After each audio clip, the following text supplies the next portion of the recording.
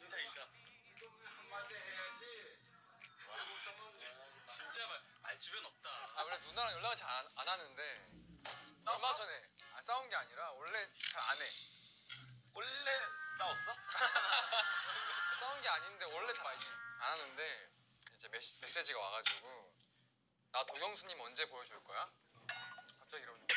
엑소. 엑소에 근데 디오를 갑자기 왜 드라마를 좋아하게 되면서 좋아해진 거지. 어. 그래, 그래, 그래, 그래서 그래서 아니 뭐 친해도 누나한테 소개 안, 안 시켜준다고 그랬지. 근데 가족들은 다 친한 줄 아셔.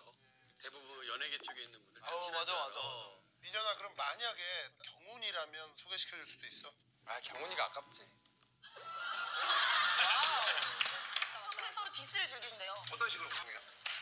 예를 들면 은 힙합도 즐겨 들으니까 네. 디스전을 한답니다. 어, 애교. 너는 코가 낮지만 눈이 높지. 뭐 이런. 아 외모적으로?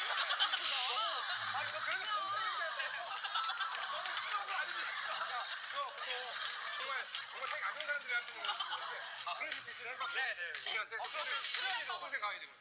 아, 저희가 이번 활동 때 진짜 착한 남매로 하기로 약속했는데 이미 끊었죠.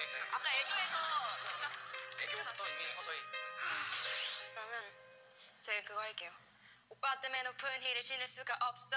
깡마른 멸치 때문에 덩치가 커 보여. 사진 찍을 때 허리 디스크가 생길 듯 구부려야 하지.